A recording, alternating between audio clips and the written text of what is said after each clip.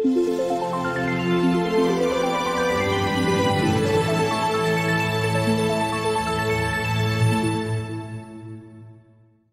北京时间的十月十六日晚上，女排世锦赛在日本的著名城市名古屋结束了最后四强的争夺。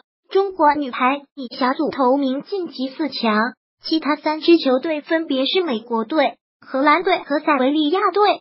在接下来的比赛中，中国女排将会在半决赛对阵意大利女排，时间是北京时间的十月十九日下午三点过十分，敬请期待。中国女排在此次的日本世锦赛上可谓表现的是非常强势，不惧怕任何一个对手。不过他们依然有一个毛病，那就是慢热。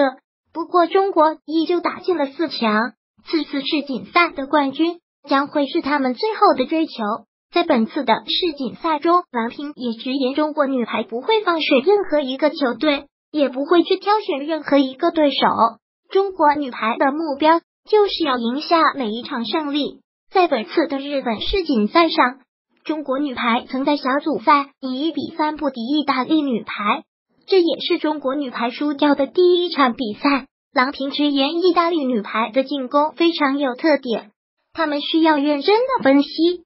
接下来对于中国女排将会是一个严峻的考验。在中国女排和荷兰的对战中，中国女排的各个队员们都全面爆发。朱婷、张常宁和袁心玥三人同时爆发，李盈莹的状态也回来了。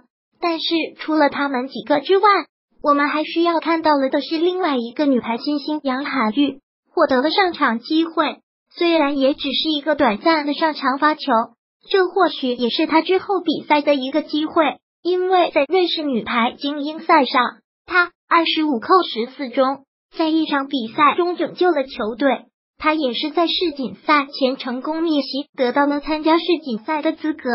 对意大利女排，他或许也是郎平手中的一个底牌，获得上场时间也是极大可能的。